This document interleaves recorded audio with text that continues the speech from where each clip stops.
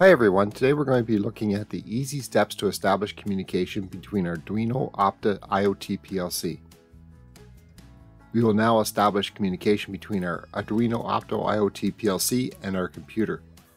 Every Opta IoT PLC comes with the ability to be programmed using the Professional Series Arduino PLC IDE or Arduino Pro. This is designed to implement industrial machine control functions and programming, including ladder logic.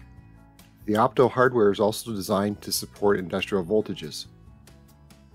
We will guide you through initializing and licensing the Opta IoT PLC. We will also use the Micro C USB connector and the Arduino PLC IDE software to communicate with the Opta PLC.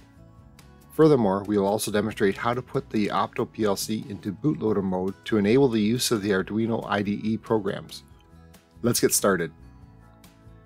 Detailed information contained in this video can be found at accautomation.ca.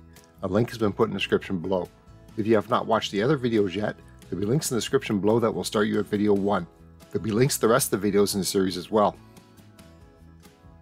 Connection to the Opta IoT PLC. Power up your Arduino Opta IoT PLC using a power supply. Power can also be applied to the CPU only through the USB cable. Connect the Opta IoT PLC to our computer using a USB-C to USB-A cable. Plug in your cable. Note that not all USB-C type cables are the same. Some are just for charging. Ensure that your cable can be used for both data and charging. Using the Device Manager in Windows, determine the communication port that the Opta is connected to. There are a few ways to show the device manager on a Windows 10 or newer computer. Right-click on the Start menu or use Windows logo plus X. This will bring up a list that you can select Device Manager. Another way is on the taskbar in the search field next to the Start button. Type Device Manager and press Enter. There are more ways, but these are the quickest.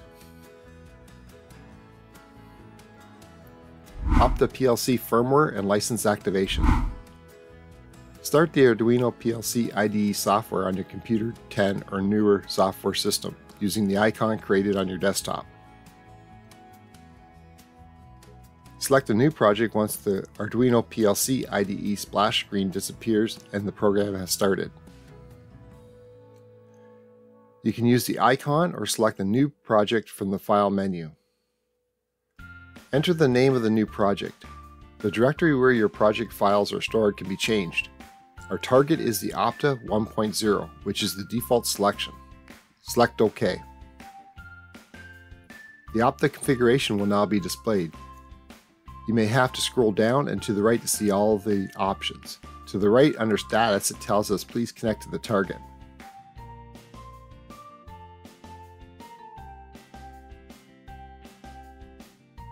Scroll down until you see other selection. Select the port number that the Opta is connected to. Select the download button.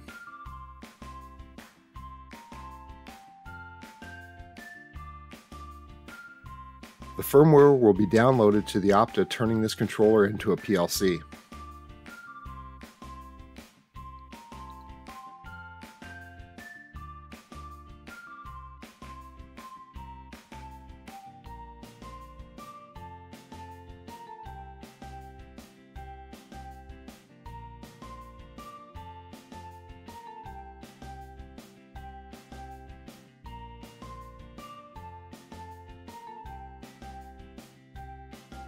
Click the Connect to Target icon in the main menu to confirm your connection to the Opta PLC.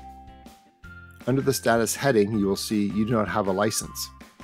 Select the Activate PLC Runtime option and follow the prompts to activate your PLC runtime. Make sure to disconnect the power to your Opta controller and USB cable before proceeding.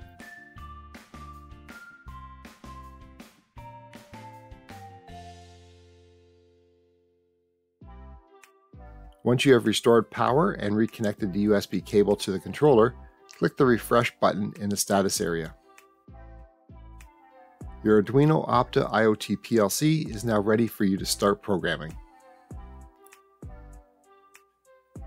Note that the Arduino IDE and Arduino PLC IDE are different programming software packages. Only the Arduino PLC IDE software will allow the Opta to run as a PLC. Using Arduino IDE for communication, bootloader. Using the regular Arduino IDE software, you must activate bootloader mode to upload code to the Opta. Connect your Arduino Opta IoT PLC to your computer via the USB-C cable that can handle both power and data. Simply double tap the reset button on Arduino Opta PLC to activate bootloader mode. This is indicated by the CPU's pulsing light. You can now proceed to download your program code. If you enjoyed this video, please hit the like button below. If you have any questions about the video, please leave a comment below and I'll do my best to answer it. If you want more information about us or you want our free ebooks on numbering systems or robust data logging, please click on the link in the description below to get it. A new video is put every Monday, so make sure you hit the subscribe button to get more videos like this in the future. Remember to click the bell beside your subscription to actually receive those notifications. Thanks so much for watching. I'll see you next time. Stay safe.